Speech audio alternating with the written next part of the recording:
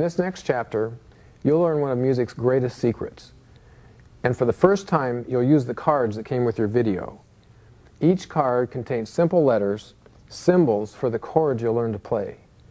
Don't worry, I'll explain how the cards and symbols work. You should use these cards as a guide to making your own sounds. As you'll see, there are a lot of ways of playing the chords, and the more you experiment, the better.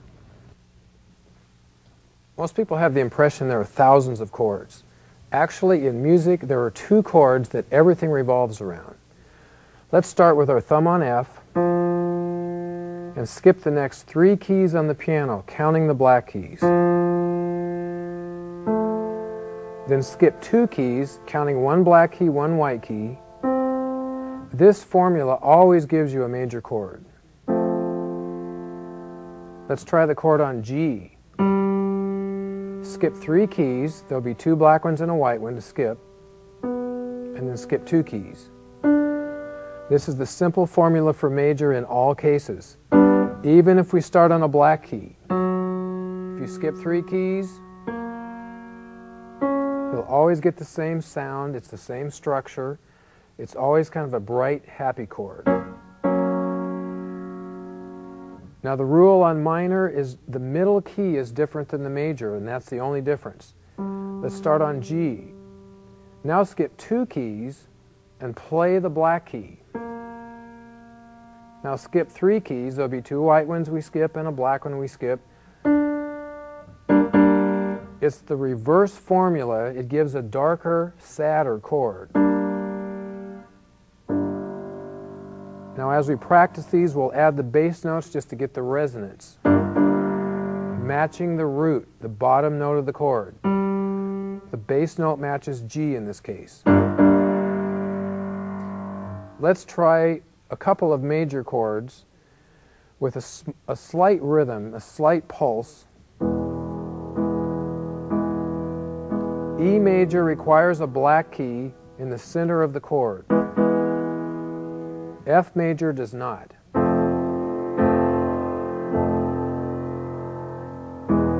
Both of them follow the same simple structure. Skip three keys, skip two keys.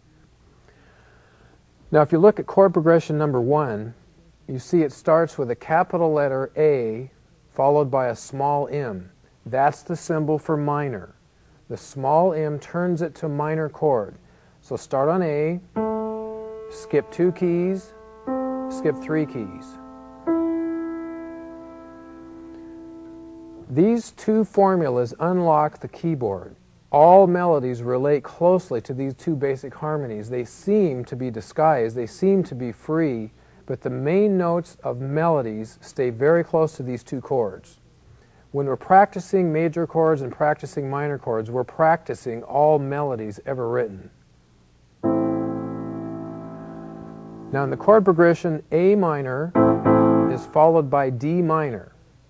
The root is D. In this case, all white keys will give us minor. Skip two, skip three. Back to A minor. Now E major requires a black key. F major. D minor Back to E major, A minor. So when we add simple rhythms, a simple texture, this progression will come alive.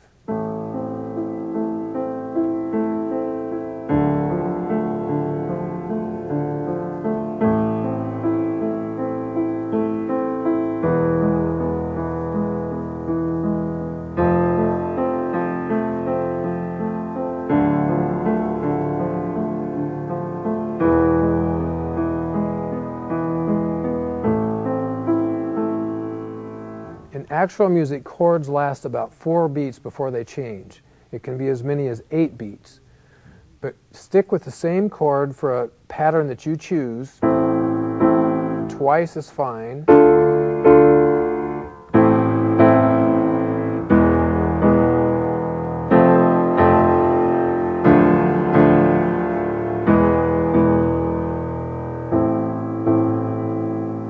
So once in a while we'll do some advanced examples throughout the lessons that you may want to look at and listen to, but you won't be able to perform it until later. Now listen to this syncopated rhythm that comes from Latin music.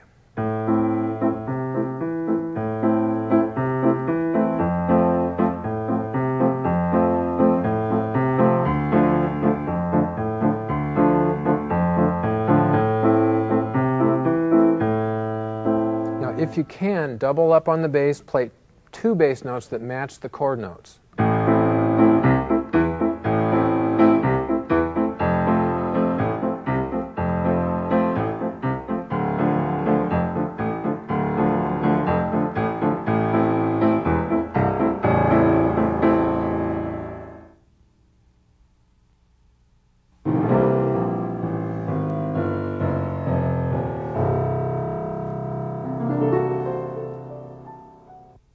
Here's the secret to chord structure.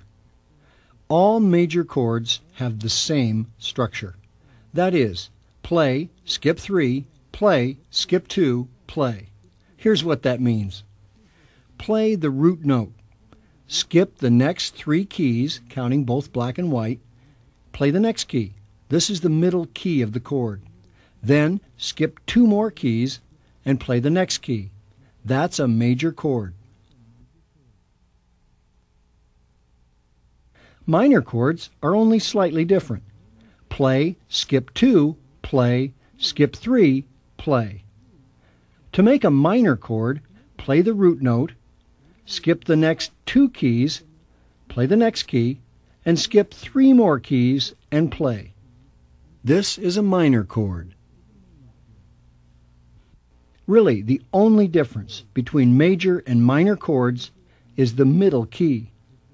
If you lower the middle key of a major chord, you'll have created a minor chord. The various combinations of major and minor chords form the foundation for everything that happens in music.